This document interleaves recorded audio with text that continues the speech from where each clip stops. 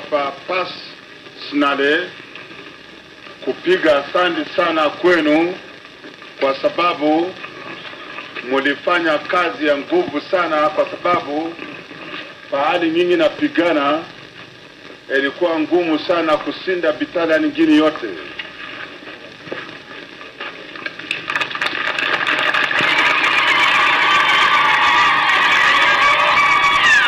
Kwa sababu nyinyi iko kampuni moja tu, hapana battalion.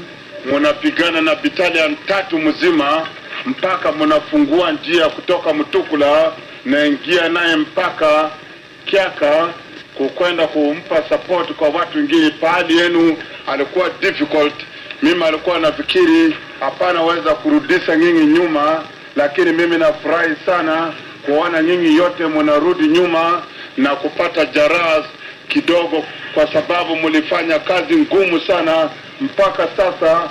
Tanzania na kusanyamaza kimya, na mimi najua bado kidogo commanding officer ataleta bendera ya Tanzania, yeye itamupa kwangu, alafu hii bendera inakwenda ndani ya command post.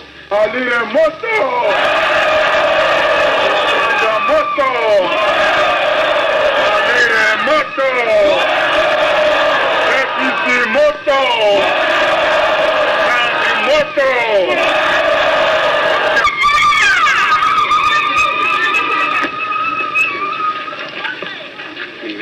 Bendera ya Tanzania mnaani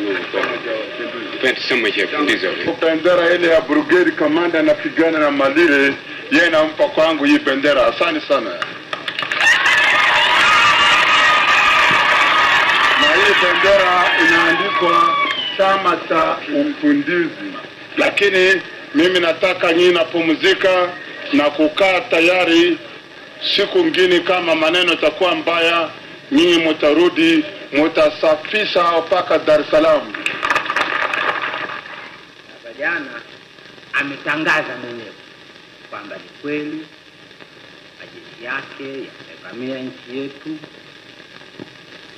na yamechukua sehemu hiyo ya Tanzania iliyo kaskazini mwa mto wa Kagera, kwamba tangu sasa eti sehemu hiyo ni, ni ya Uganda na itatawaliwa kijeshi kama Uganda inavyotawaliwa. Ndivyo alivyotangaza mwenyewe. Sisi ametusaidia katika kutangaza jambo hilo kusudi sasa, kwa sasa ubishi uishe. Sasa hiyo ndiyo hali. Tufanye nini? Tunayo kazi moja tu, Watanzania, sasa tunayo kazi moja tu, ni kumpiga